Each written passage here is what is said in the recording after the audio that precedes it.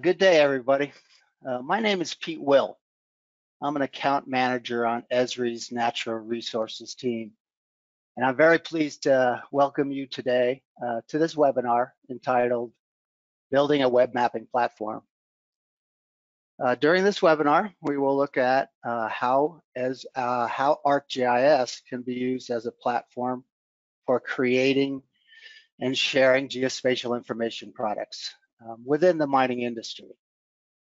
Today's uh, presentation will focus on how the ArcGIS platform is improving business processes by providing web-based mapping tools and maximizing access to data. We'll be looking at how to share data and analysis products with your end users uh, with web maps. We'll also take a look at, at how to optimize your mapping workflows, save time, and uh, improve collaboration uh, using fit for purpose web maps and applications. And our, our main goal today is to show you the value of providing your users a system that enables your entire organization uh, to make smarter data-driven decisions. And I'll be your host for today's webinar. Uh, this webinar uh, is and was organized in collaboration with the Esri Mining User Group, uh, the MUG, and a recording of this webinar will be posted on YouTube and shared with all registrants. Throughout the webinar, we encourage you to ask questions through the GoToWebinar dialog box, and uh, we'll try to answer as many as possible uh, during the webinar. But if we don't get to any um, questions, we, they will be answered in a follow-up email. In addition to myself today, I am joined by, joined by Matt Ballard, uh, Rachel Mykander, and Lucia Patterson. Matt's a solution engineer, my teammate on the natural resources team. Uh, Rachel is a GIS analyst, a cartographer, and a geologist with the Nevada Bureau of Mines and Geology. And Lucia is a GIS specialist and geologist with the Nevada Division of Minerals.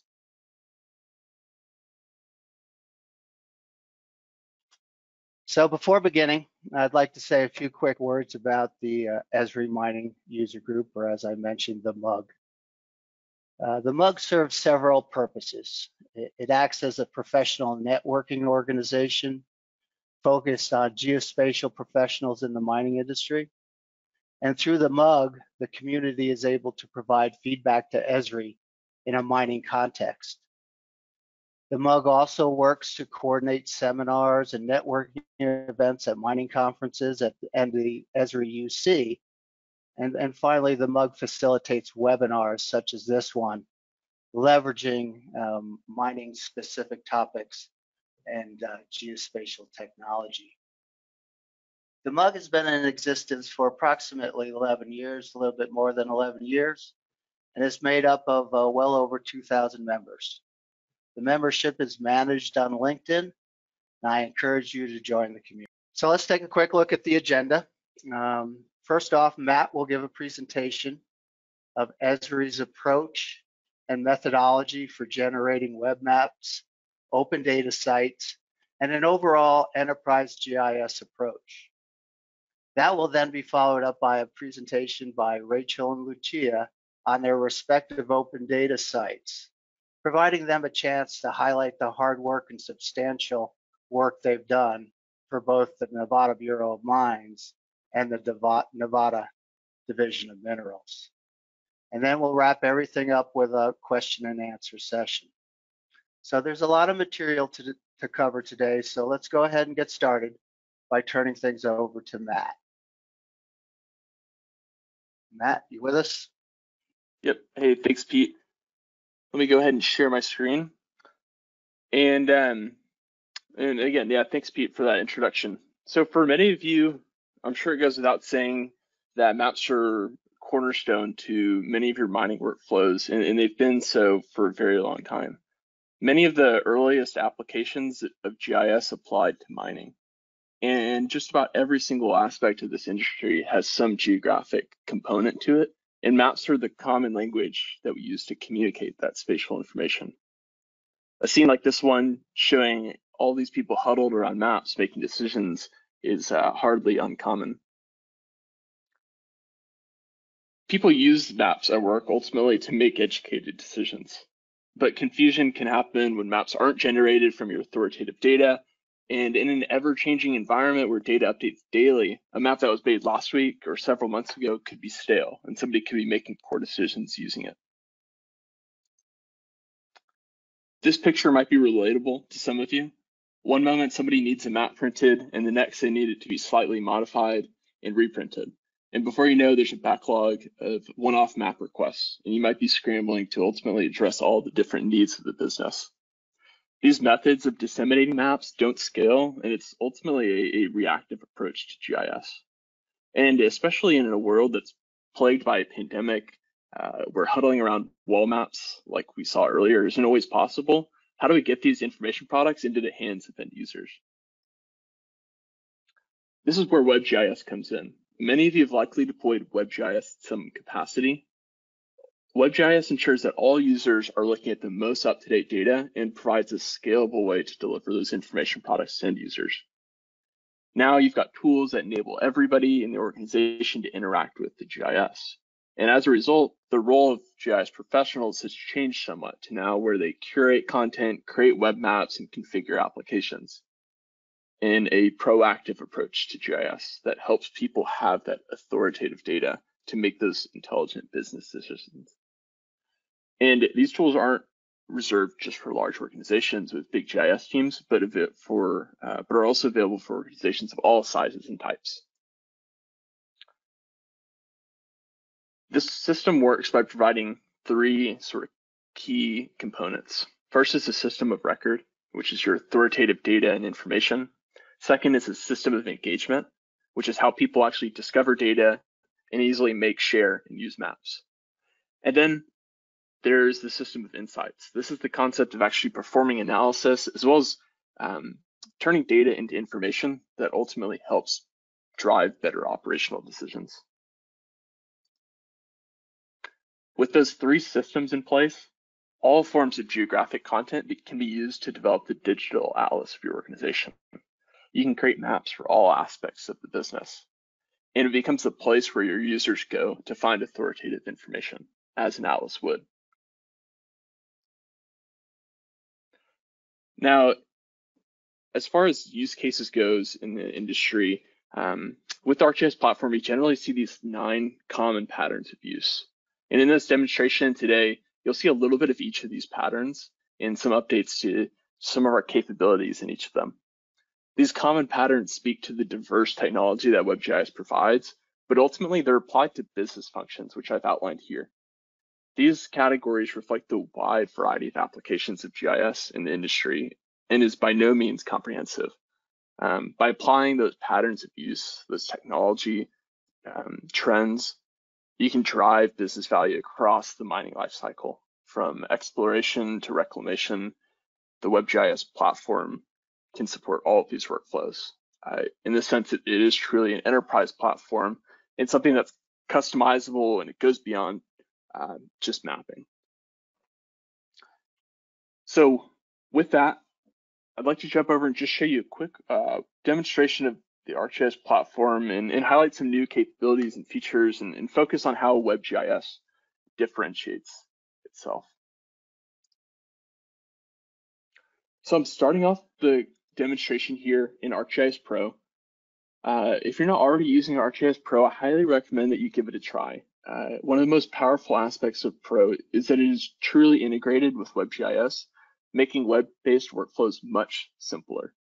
ArcGIS Pro is an authoring tool for sharing those data sources to the web, but at the same time, it's also a tool for consuming and viewing web services. Here, I'm looking at a map of uh, the Marigold Mine with some property boundaries, infrastructure outlines, and more. These data sources came from CAD files, which ArcGIS Pro natively supports importing, and right now they're just local. If somebody needs a map, they need to contact me to create a print or PDF map and send it to them. However, with ArcGIS Pro, I can go up to the top share ribbon here and share this map as a web map. I'll provide it a name, a summary, as well as some tags, and then ultimately just share this with my organization. This will package up all of the layers and share them off to the web. And this is going to be shared to my ArcGIS organization, which you can see at the top right, I'm logged into my ArcGIS for mining organization. Of course, I've got a username and password ensuring that this data is securely shared with just my organization, not the public. By sharing this map, now others can directly interact with the data and always see updates as soon as I make them in ArcGIS Pro. As soon as I update these boundaries, users will see that. So look at where this went. I'm going to open up my web browser and we can go ahead and look at where the data went to. So I've opened up my ArcGIS Online homepage, and this is where that data went. This is the central location for finding all things related to geospatial data, maps, and web applications. This application comes in two forms, an on-premise one, which is ArcGIS Enterprise, or a software as a service, which is called ArcGIS Online, which I'm using today. Here, I've customized the homepage with our corporate branding, as well as provided access to some of the most commonly requested maps and applications in the center map carousel. At the top right, I'm logged in with the same username and password credentials that I used in ArcGIS Pro, connecting me to my identity across the platform.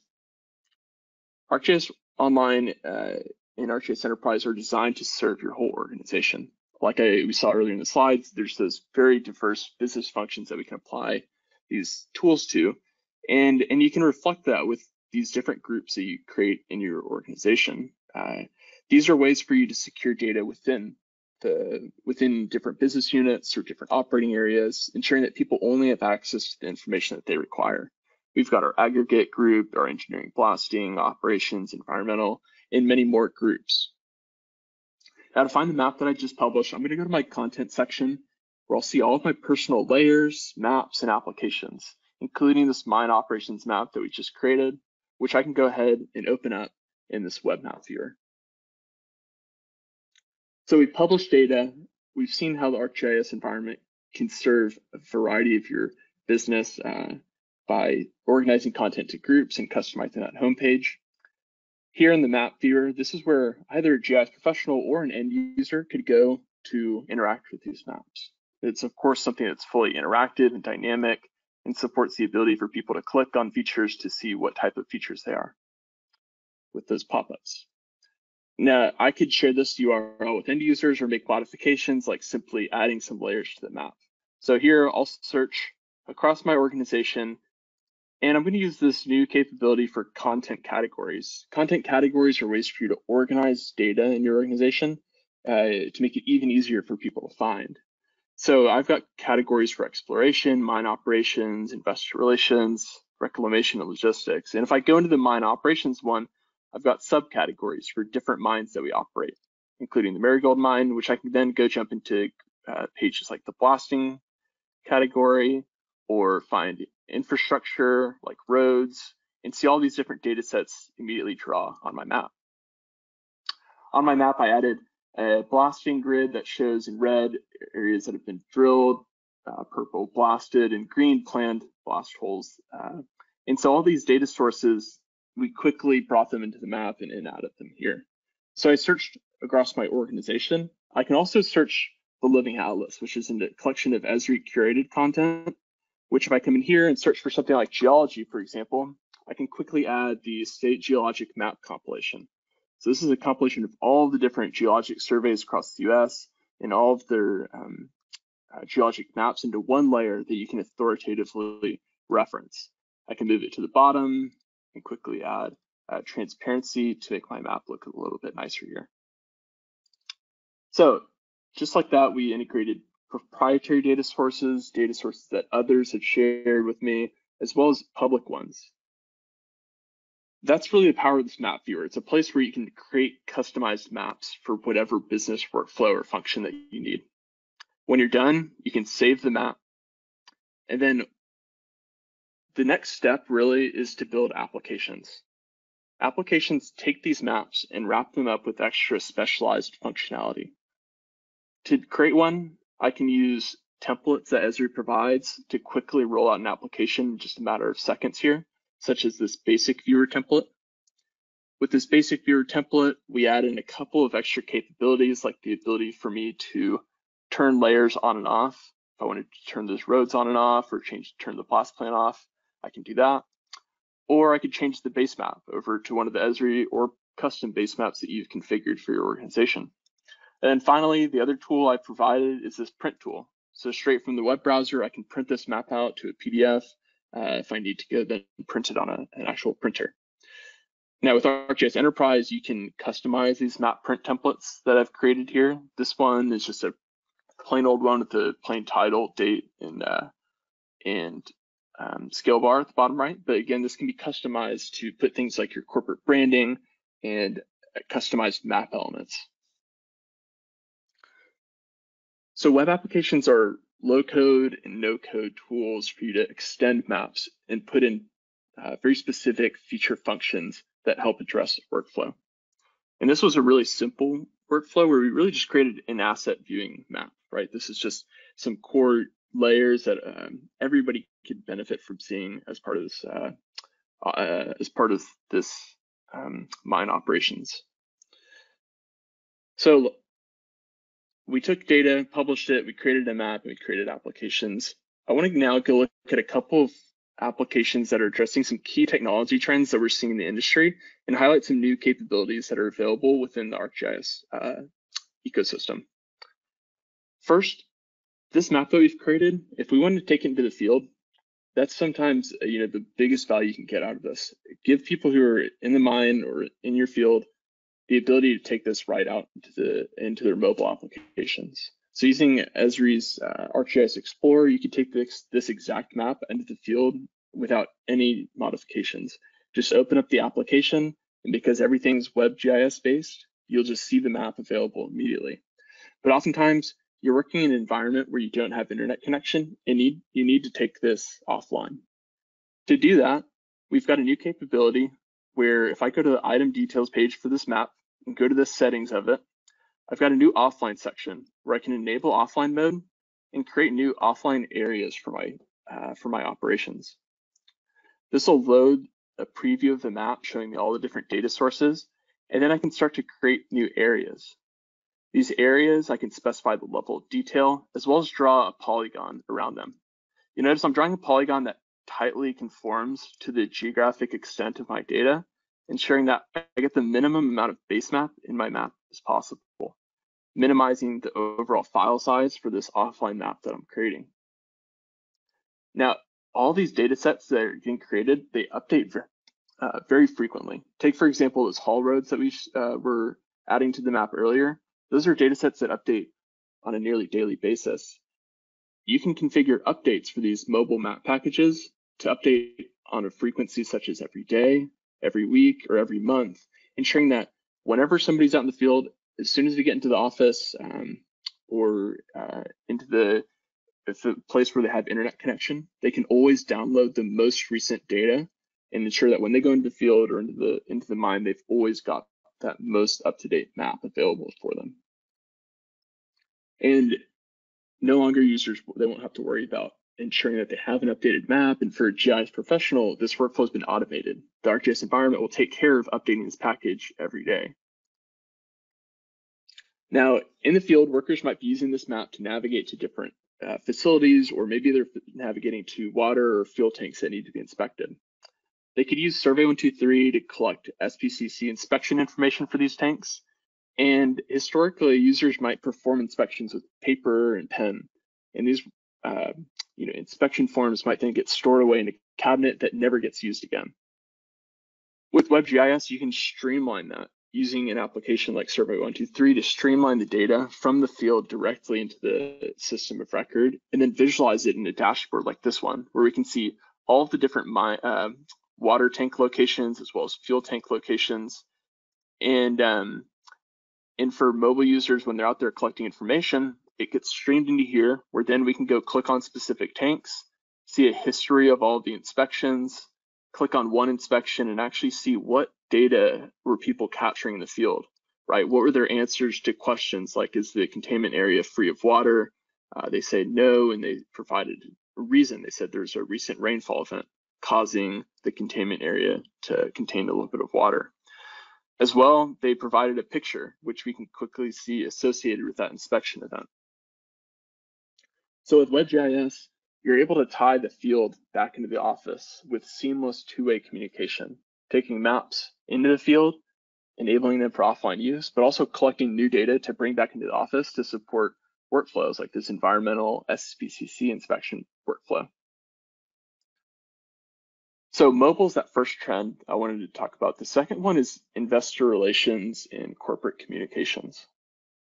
Here, I'm using the new version of ArcGIS Story Maps to show current and future plans for this Marigold mine.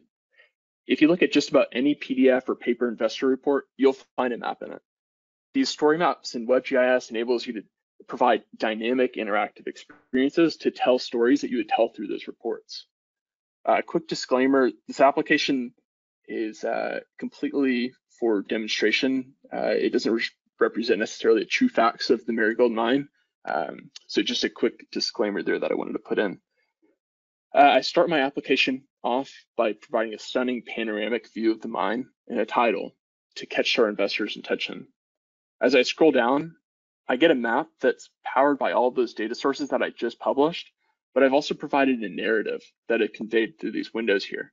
It tells me a little bit about the name, of course, of the mine, the total probable mineral reserves, the average grade, our total cumulative production to date uh, in 2019, and then the amount of money planned for exploration in 2022. So these statistics are trying, we're trying to ultimately catch investors' attention and, and inform them of what's going on. I've also provided an arrow here on the right that takes the users to the next part of this application, where we're highlighting different expansion areas, talking about new land acquisitions, um, as well as conveying some of those similar um, uh, statistics that we were looking at earlier. So this is really all about telling a story about your assets. And because this is all hosted in the web, a story map like this can be embedded directly into your corporate websites or shared with investors at conferences and meetings. Now, the third trend I want to look at is imagery. And this one is a web scene that we've created for the surface of a mine, but it also has the potential to go below the surface, visualizing geologic surfaces and, and drill holes and much more. This model was generated using drone imagery and photogram photogrammetric tools in Esri's SiteScan for ArcGIS platform. And in an ever-changing environment, drones can help to monitor the safety of haul roads, tailing slopes, and monitor the progress of your mine. And because this is, again, all WebGIS based, anybody can work with this. You don't need a specialized desktop software product. Instead, just send them directly to this 3D web application. Now, finally, the last trend I want to look at is real time. The number of sensors that we're capturing data from in mining is growing rapidly, from piezometers to temperature sensors and vehicle GPS sensors. All of these data sets present a challenge to, to stream into the map, but they also present an opportunity, new information products that can bring business value. Here, I'm using Analytics for IoT, which is Esri's new real-time and big data capability that's completely hosted in ArcGIS Online.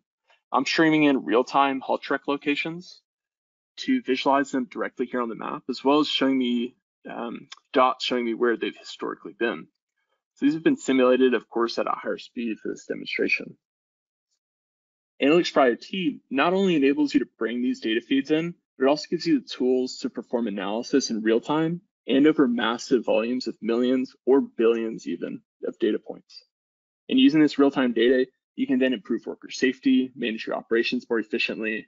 And, uh, and WebGIS makes these tools, gives you these tools to combine all these different data sets.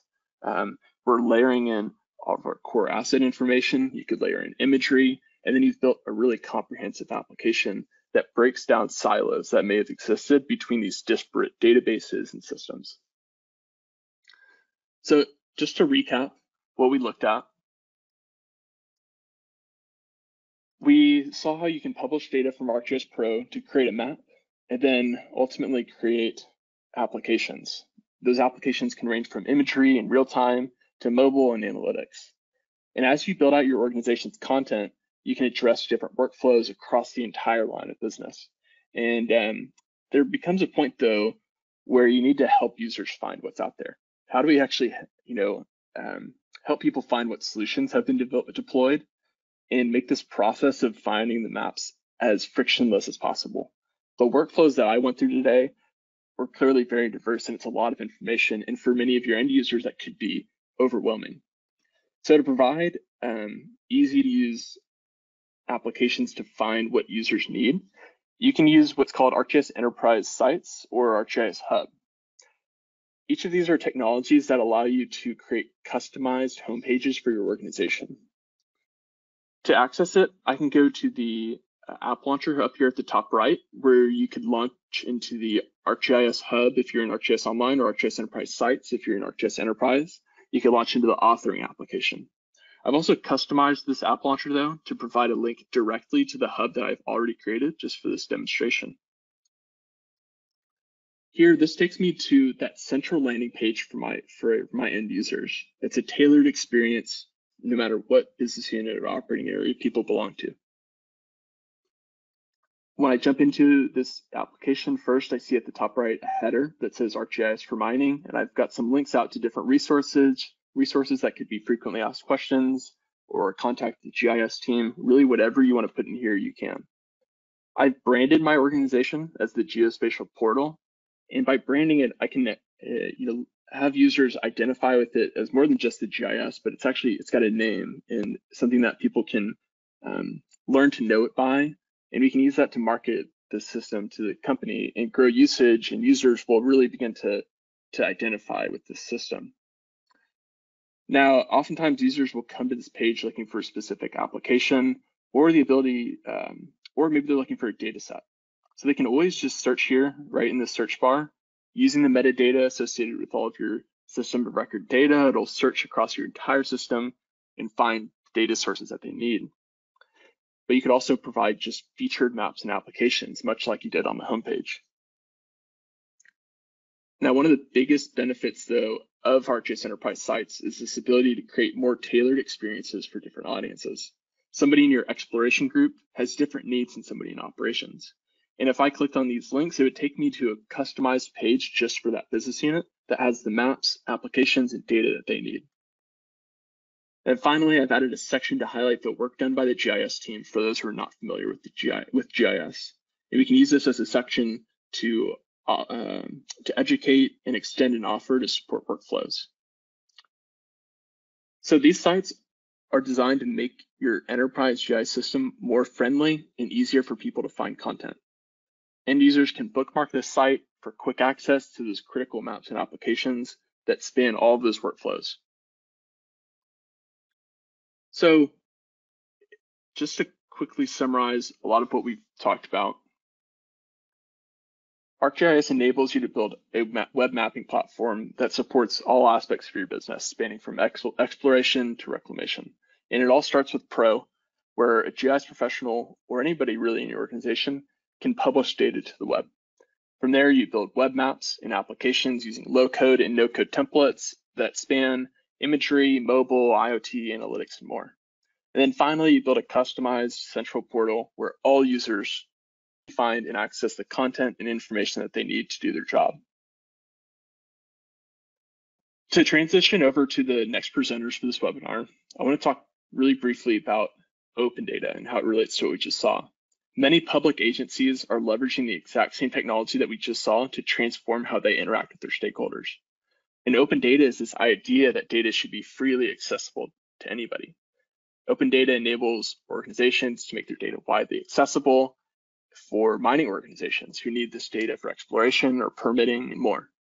Here I've highlighted just a few examples around the world of users who are using ArcGIS to provide these open data uh, access points. And specifically in these cases are, these examples are for mineral resources and geological data. So I highly recommend if you get a chance to go view these applications in their environments to see what types of excellent workflows they're providing. Now, to show us how they've deployed this technology and embraced open data, uh, I'd like to transition over to Rachel from the Nevada Bureau of Mines and Geology and Lucia from the Nevada Division of Minerals. Whether you work at a similar governmental organization, a commercial company, or as a consultant looking for new ways to deliver information products to your stakeholders, you'll find value in seeing how they've deployed these tools. So with that, I'd like to hand it back over to them. Hello, everyone. This is Rachel Mykander, a cartographer and geologist with the Nevada Bureau of Mines and Geology. And this is Lucia Patterson, a GIS specialist and geologist with the Nevada Division of Minerals. In this presentation, we will discuss each of our open data sites, data being shared by each agency, and introduce a new web application that was developed to help explorationists identify and discover mineral resources throughout Nevada. So let's begin. Open data sites have not only opened the door to a new public data resource, but have also created a nexus where many pieces of data can be placed in one location and formatted to meet the needs of and assist people in specific industries. It is data that can be freely used and reused by anyone. Open data allows users to search these data sets and download files as needed. They can be downloaded as a shapefile, KML, geodatabases, or spreadsheets, and all datasets can be filtered by some attributes. It also provides a location to share web applications, story maps, videos, and other external resources. Let's start off by taking a quick tour of our open data sites. The Nevada Bureau of Mines and Geology and the Nevada Division of Minerals each have their own separate open data sites. The Nevada Bureau of Mines and Geology, or NBMG, is a research and public service unit of the University of Nevada and is a state geological survey. NBMG is part of the Mackay School of Earth Sciences and Engineering within the College of Science at the University of Nevada, Reno. NBMG scientists conduct research, publish reports on mineral resources, engineering geology, environmental geology, hydrogeology, and geologic mapping. The NBMG Open Data Site was launched in the summer of 2017 and hosts a variety of scientific data layers and resources. This open data site is catered towards scientific research and providing users access to publicly available free data sets.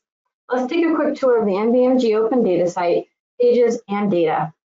So here we see the homepage of the NBMG Open Data Site. As Matt mentioned earlier in his presentation, Users can come here and click in the search bar to search for specific data sets that they are interested in, such as minerals or geology, or maybe even faults or geo, geohazard data. Scrolling down the page, we have our disclaimer, a section for exploring NBMG data. All of our NBMG web applications can be found here. We have four select applications linked right here, and user can click on the Explore More Apps to take them to a page where they can view all of our web applications with some information about each app, as well as a few story maps. Let's head back home. Continuing down the page, we have a section de dedicated to additional resources, both at NBMG, so the Great Basin Center for Geothermal Energy, our Science Sample and Records Library, information on education and outreach, and NBMG research. Continuing down the page, we have a section devoted for other public GIS data and geoscience websites.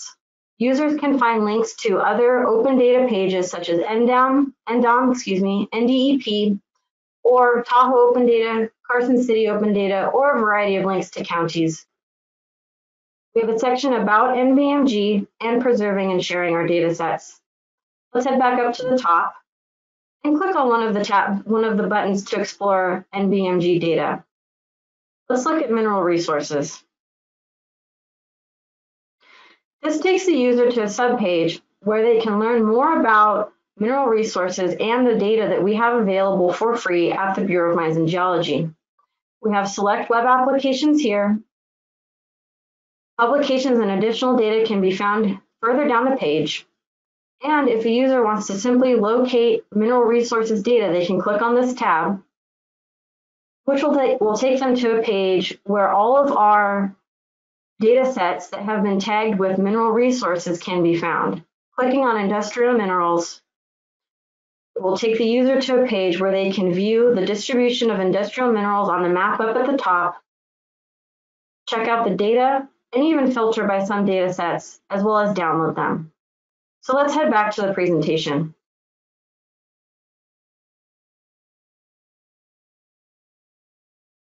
Since creation of map and data services are an important part of NBMG modernization and many data sets were already freely available, but were not, they were not easily searchable or accessible prior to launching our open data site. Much of our data was scattered in different portions of our website, and we recognized the need to create a centralized location for our publicly available data. We also wanted to be able to share our data and make it easy to discover and download for both non-GIS and GIS users alike. As the State Geological Survey, we want to engage stakeholders, government entities, students, and the public. So why is open data useful? Well, for one, it helps make our free data more discoverable. It's separate from our, paid GIS files, which are available from our Publication Sales Office online shopping cart. It also enables the sharing of NBMG data across platforms and between different agencies and the public. And it provides a centralized location for searching NBMG data and finding other resources, including web applications, publications, and many other digital products. It has allowed us to go from a somewhat cluttered and information-heavy website format shown here in the top image to a more streamlined, easy-to-use platform for discovering data shown here in the bottom image and what you saw in the demo. Some of the challenges we encountered in developing the NBMG Open Data site included data organization and cleanup. Before creating an open data page, we had to organize and clean up our data to make it easily discoverable. This included organizing the data on the back end, as well as determining how best to categorize it on the front end. This was a long and involved process. Much of it had been completed in previous server migrations, but a large amount still had to be done prior to launching the open data page. For metadata, before publishing our services, we had to make sure the metadata was sufficient and tagged appropriately. Many of these data sets had been created at one point or another without metadata. Current metadata was added to each of the services and to ArcGIS Online. And this process made it much easier for us to credit our data sets. We also needed to adjust disclaimers and copyright statements. This was one of the more challenging items on the to-do list since we had to work with several other people within the Bureau and at the university in order to come up with an appropriate disclaimer and determine if we could use the UNR copyright. In addition to the copyright and disclaimer, we have included the Creative Commons Attribution 4.0 International License in all of our free data sets. Once data organization was completed, we published the data from ArcDesktop to our ArcGIS server, which is hosted by our university IT department. We then added the services to ArcGIS Online from our REST service directory. Different groups were created in ArcGIS Online to feed into the open data pages. These groups were identified as open data groups. Each dataset was assigned an open data group depending on the data categorization. Currently, we have seven groups with a total of 92 datasets. This has increased since the beginning of 2018 from six groups and 50 datasets. The result was a more robust and organized location for searching NBMG geospatial data. This included a better public interface that is easily updated and maintained. It also helps make NBMG more relevant as a state, as the State Geological Survey. Our free data sets are now easier to find, filter, and download, and our web applications, which had previously been hosted on a content-heavy maps and data page hidden among other documents and links, are now presented in an organized format. Bottom line, this platform has made our data easier to discover and share with our users. Now, let me hand this over to Lucia for a tour of the NDOM Open Data site. The mission of the Nevada Division of Minerals is to assist in the responsible exploration for and the production of minerals, oil, gas, and geothermal energy, which are economically beneficial to the state. This is the Nevada Division of Minerals public platform for exploring and downloading our open data. Our open data site was launched in the winter of 2017. Performing land research prior to staking a claim has been challenging and indirect. This does not result from lack of data, but rather from unclear locations of, challenging input parameters for, and complex presentation of the data. Our open data site has evolved to be a data resource and a user-friendly utility for portions of land research in Nevada. NDOM's open data site hosts pages dedicated to certain topics. These topics include lithium claims, active mining claims, notices, plans, and historic mining claims, commodities and occurrences, land issues, dissolved mineral resource exploration, along with education and outreach. All data is hosted on ArcGIS Online. Each page has its own interactive Esri web mapping application that has been configured to enhance user interaction. The pop-ups are easily configured using a combination of the data hosted in the feature service, arcade expressions, and URL links to external sources. The lighter green text indicates where data is being pulled out of the attribute table. Orange text indicates where arcade expressions have been utilized. Dark green text shows where the text is linked to a URL, and red text indicates a URL and arcade expression combination. There are resources online to help write arcade expressions that are relatively easy to follow. Widgets available for web mapping applications add to an enjoyable user experience. We have implemented the search, add data, and filter widgets in most of our web mapping applications. The search bar can be configured to search based off fields present in the feature services displayed in the map. For example, in this map, the search bar has been configured so the user can enter the township, range, and section into the search bar, and when they click the magnifying glass, the map will zoom to that section. Using the Add Data widget, the user can add their own data or other data on the web to the map for analysis. The filter widget can be configured so the user can easily display relevant data within a dataset. Simply put, time equals money. By providing data, users don't have to go look for it or call us asking to supply the data. It saves time and money for us and them. By providing interactive maps to consumers without the need for specialized software means the consumer saves money and we save money because we are not generating maps and doing analyses for them. In our particular case, Utilizing tools available such as customized pop-ups has allowed us to simplify the land research process for us as well as outside novice and professional entities. For example, when completing ownership research, in the case of patented mining claims, a minimum of 15 steps were required to delineate an owner. Now, through the use of open data, web apps, and pop-ups, 15 steps have been narrowed down to five steps. Fewer steps means less time wasted, means less money spent. Open data sites have also enabled agencies to better organize data, making it easier to merge data sets together under one application. The Nevada Mineral Explorer is just that, a nexus of data from several agencies functioning within one application. When using this application, users can download specific datasets, save maps to PDF, search layer information, add data, and view data without any special GIS skills or software, and all within one application. This web app also allows users to leverage pop-ups to gather information on mining claims, mining districts, geologic features, and many other datasets relevant to exploration in Nevada. Data in this application are organized into nine different categories. Each category is depicted with its own unique symbol and contains various layers hosted by both NBMG and NDOM that users can explore, search, and download. Categories include occurrences and production, exploration and development, mineral resources, geology, geophysical, geochemistry, mining claims, technical reports, and reference data.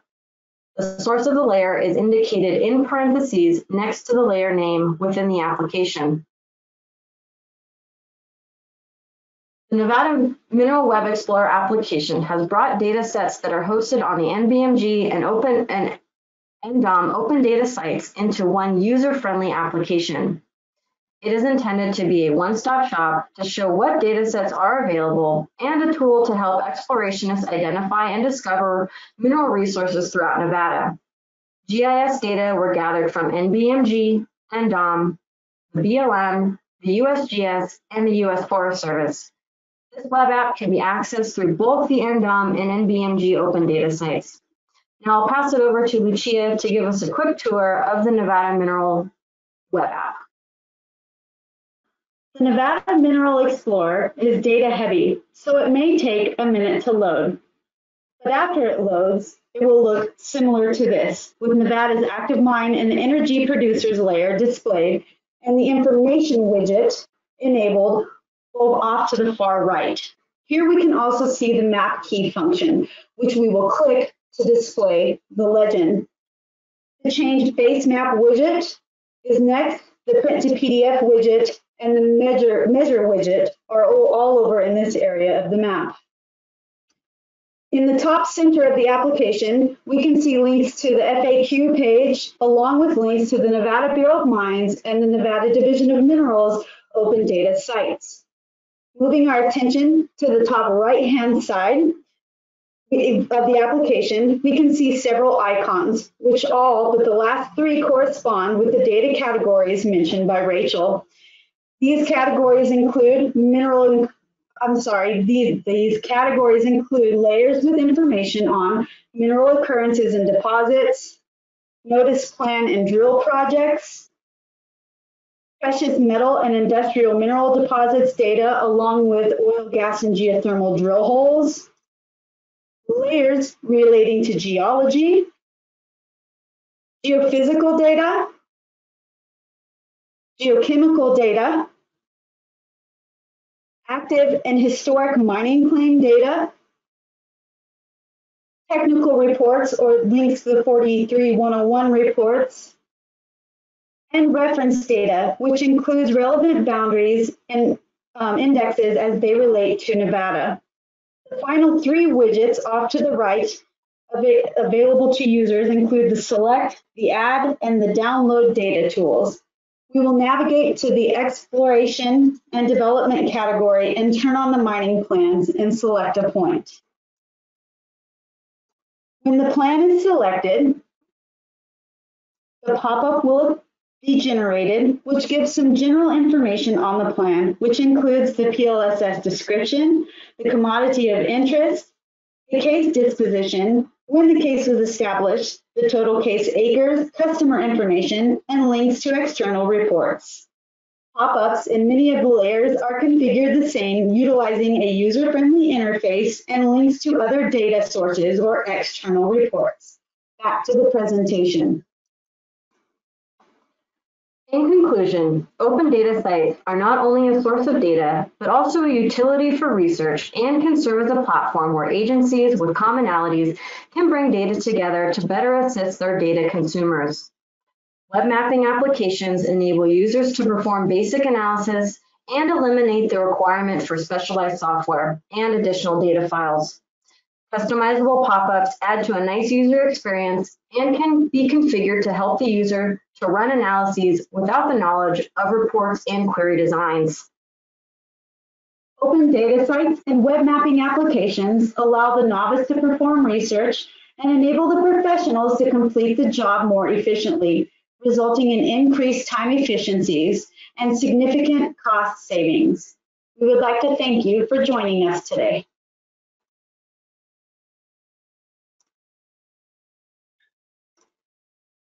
And thank you, Rachel, and thank you, Lucia. Very, very well done. Uh, Matt, as same to you. Uh, very well done. Uh, appreciate it to everyone.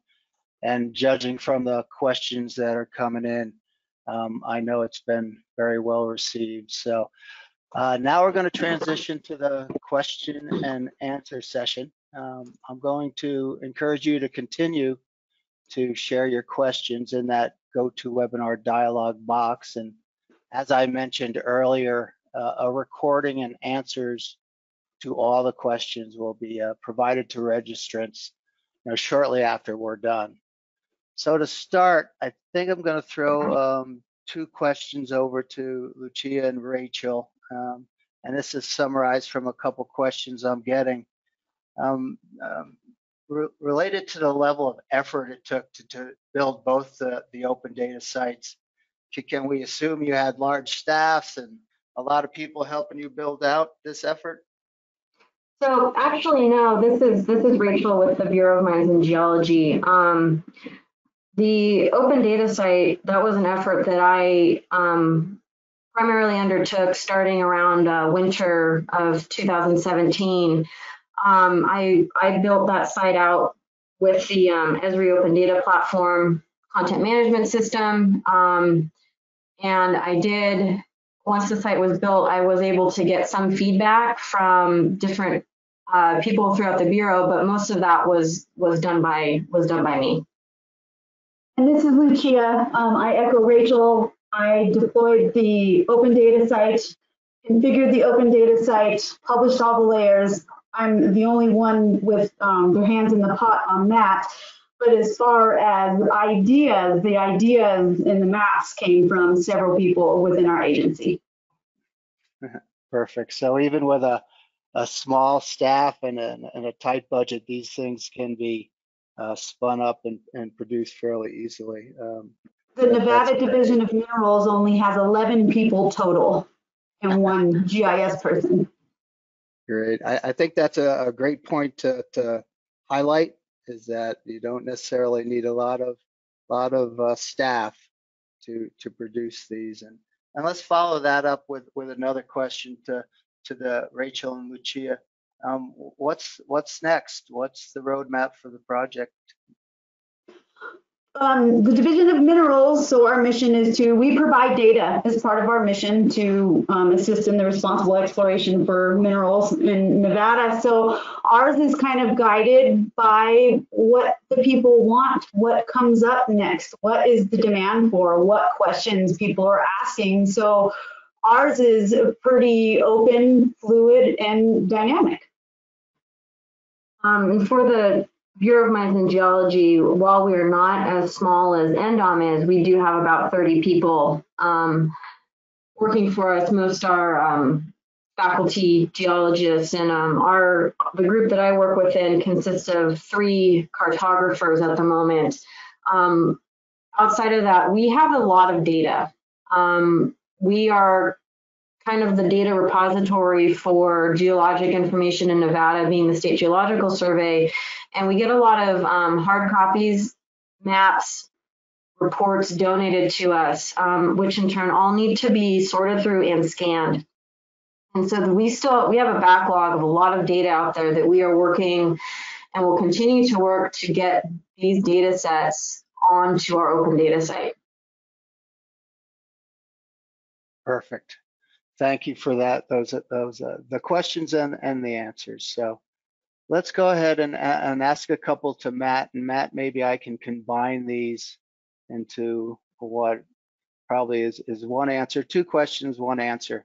Um, was everything you showed today um, in ArcGIS online? And then the follow-up question or the, the partner question is, when are those offerings um, let me check that. When are those offline maps coming to ArcGIS Enterprise? Yeah. So um, yeah, everything I showed today was using ArcGIS Online. Um, we tried to completely stay in that environment to highlight some of the new features that are there, especially ones that uh, historically have been only in our on-premise software, like the real-time capabilities. So yeah, everything was in ArcGIS Online today. Um, and then I think the the offline map question is related to how we took that map we created and, and created that offline area that updates on like a, a regular basis. So that's a new capability that's in the most recent version of ArcGIS Enterprise, ArcGIS Enterprise 10.8, and it's that ability to create a, an irregular shape that sort of conforms to just your boundary of your data, not just like a square area, and then to be able to schedule it to update on that reoccurring basis. So it's the most recent version of ArcGIS Enterprise. Okay, great. Thanks for that answer. Let's see. I'm trying to sort through these questions as they come in uh, real time. So speaking of real time, I have a couple questions on your IoT um, demo. And the question I'm seeing most often is, how did you get those real-time haul trucks in the map? I think what they're they're asking is, is where's the data coming from? Yeah, uh, so I used the again the, the product. It's analytics for IoT. It's a new capability with ArcGIS Online. Historically, we've always had Geo Event Server that would be able to handle this on premise, of which many of our customers have deployed to integrate real-time sensor data.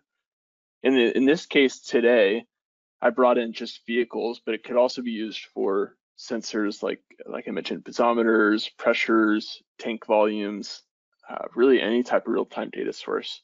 For the truck specifically, what Analytics for IoT is designed to do is to tap into another system, right? So we don't have the sensors for the vehicles, but we have the tools needed to tap into another system that is capturing that data and and then we're able to synthesize it with other real-time data and other and other contextual information, right? So we collect the real-time streams coming from, say, a vehicle tracking platform, and then we bring it into a map and layer on other data sources to build another uh, a bigger system that combines many diff different data sources. Excellent. Uh, I'm very excited. We're getting a lot of questions coming in, and I, I think they're piling up a little bit. Uh, so with with the questions we've asked already, um, and the amount that are coming in, I think it's best that we answer the rest of these um, in the follow-up email. I'm getting quite a few on the real-time aspects of this, but also on the producing of the, the, widgets on the open data sites. But again, they're they're fairly detailed, so I believe uh, they'll be best to uh, respond to in detail in the follow-up. So with that, um, if you do have further questions related to this webinar, um, please feel free to reach out uh, by email to me or any of the participants today. And any general questions regarding Esri's approach to mining solutions and, and workflows, I'm ha uh, happy to answer those as well. I'd like to call your attention to several um, resources and activities before we close out. Um, as many of you may be aware, the Esri International User Conference is virtual this year. And if you're a current Esri customer, your registration is free. If you'd like to register, the registration information is shown on the link um, on the screen now. And I, I, very much encourage you to join and participate um, on the mug, with the mug on LinkedIn. So uh, feel free to join that, um, present your or pose your topics for future webinars there. Uh, please feel free to explore the Esri Mining GeoNet site. There is also um, a lot of useful resources on ArcGIS and mining there as well. We uh, make all the previous mining related webinars available to you on the on YouTube. And there's a catalog of past webinars that can be found again at that URL uh, shown on the screen. And with that, I'd like to thank everyone for attending the webinar, especially Rachel and Lucia for their participation, and everyone for giving us their time today. Thanks, safety first, have a great day.